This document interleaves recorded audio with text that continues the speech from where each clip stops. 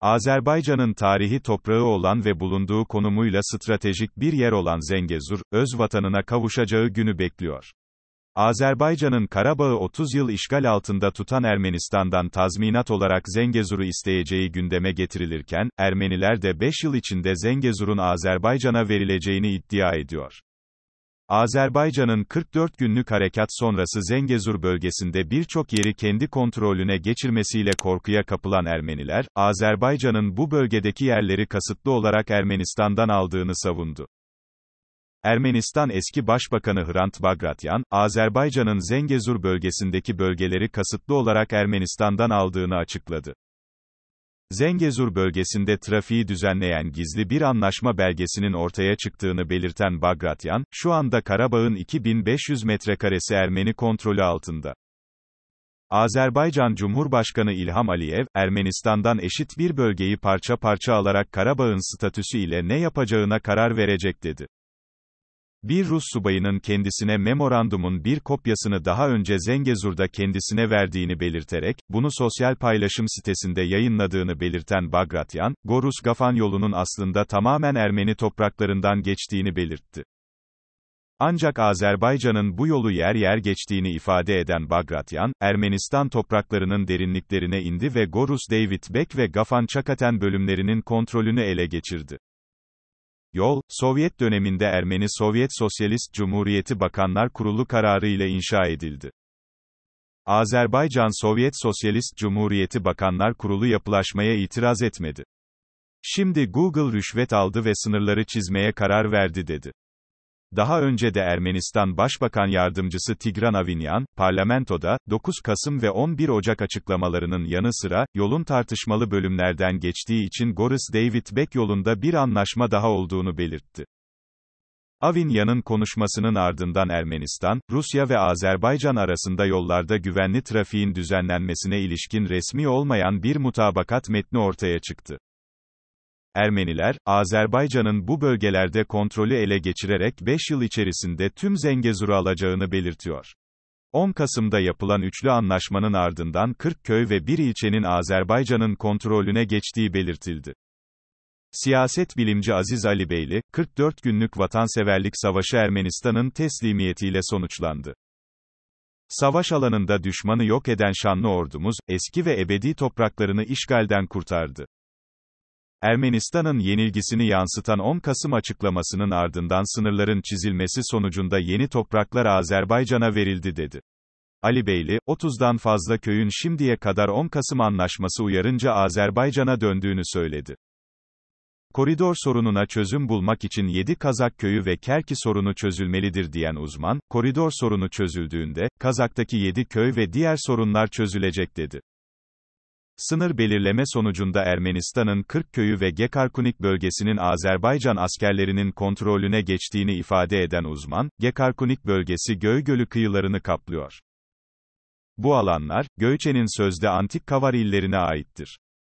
Azerbaycan'a komşu olan Tovuz, Gedebey, Taşkaşan, Kelbecer, Gubadlı ve diğer bölgelerde Savunma Bakanlığı ve sınır birlikleri askerleri görev yapıyor. Bu bölgelerdeki sınırın tam olarak sağlanması ve yeni sınırların çizilmesi sonucunda yaklaşık 40 köy ve Gekarkunik kasabası Azerbaycan askerinin kuşatması altına girdi dedi. Atlas Araştırmalar Merkezi Başkanı Elhan Şahinoğlu, Türkiye tarafından Azerbaycan'ın katılımıyla Kars'ta gerçekleştirilen Kış 2021 tatbikatıyla Ermenistan ve Rusya'ya kritik mesaj verildiğini söyledi. Şahinoğlu, Azerbaycan ordusu savaşı kazansa bile stratejik müttefiki ile askeri tatbikatlar yaparak gücünü sürekli artırmalı, Türkiye ve NATO standartlarını benimsemelidir dedi. Türkiye ve Azerbaycan tarafından Kars'ta yürütülen ortak askeri tatbikatların stratejik önemine dikkat çeken uzman, Azerbaycan, Türkiye ile mutabık kalınan takvime göre yılda 3 veya 4 ortak askeri tatbikat yapıyor. Bu gelenek yıllardır başarılı bir şekilde devam etmektedir. Ortak askeri tatbikatlar, Türkiye-Azerbaycan askeri ittifakının daha da güçlendiğinin bir işaretidir. Sonraki ortak askeri tatbikatlar Türkiye-Ermenistan sınırına yakın Kars bölgesinde yapıldı. Bu Azerbaycan ve Türkiye için özel bir önem taşıyor.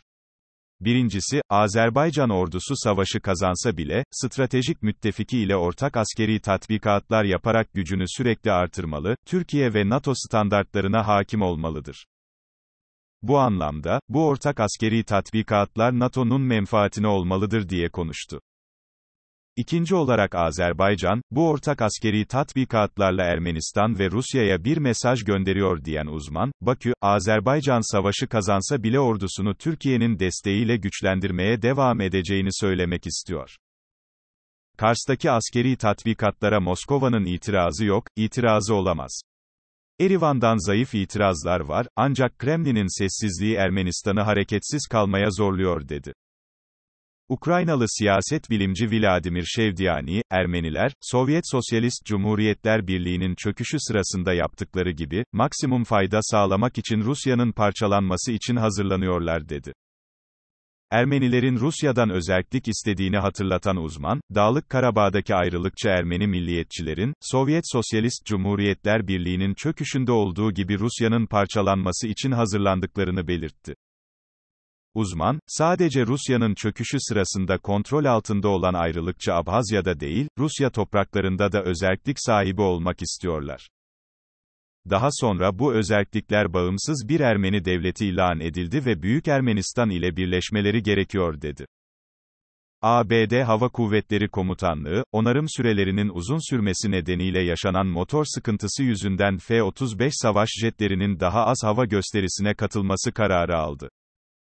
Bloomberg'de yer alan haberde, Pentagon'un 398 milyar dolarlık 5. nesil F-35 savaş uçağı programının Pratt Whitney tarafından üretilen motor tedarikinde giderek büyüyen bir sorunla karşı karşıya kaldığına dikkati çekildi. Hava Muhabere Komutanlığı'nın konuşlandırma ve eğitimlerde gerektiğinde F-35 savaş uçaklarının hazırda bulunması için 2021'de hava gösterilerine daha az katılacağı belirtilen haberde, bu yıl F-35'lerin 8 hava gösterisinde yer almayacağı ifade edildi. Haberde değerlendirmesine yer verilen, ismi açıklanmayan bir savunma yetkilisi, yaşanan sorunu F-35A model savaş uçaklarının motorlarının hız kesmeden çalışması sonucu ısının türbin kanadı kaplamalarında erken çatlaklara ya da katmanlara neden olduğu ve bu nedenle motorların çıkarılıp tamir edilmesi gerektiği şeklinde açıkladı. F-35 programı biriminin Savunma Bakanlığı'nı en kötü senaryo konusunda bilgilendirdiği kaydedilen haberde, savaş uçaklarının %20'sinin 2025'e kadar motorsuz kalabileceği bilgisi yer aldı. 6 Ocak'taki kongre baskını nedeniyle azil istemiyle senatoda yargılanan eski ABD Başkanı Donald Trump, oylama sonucu aklandı. Karar sonrası Trump, önümüzdeki aylarda sizlerle paylaşacağım çok fazla şey var derken, ABD Başkanı Biden ise, Senatoda aklansa da suçlamanın tartışma götürmeyeceğini belirtti.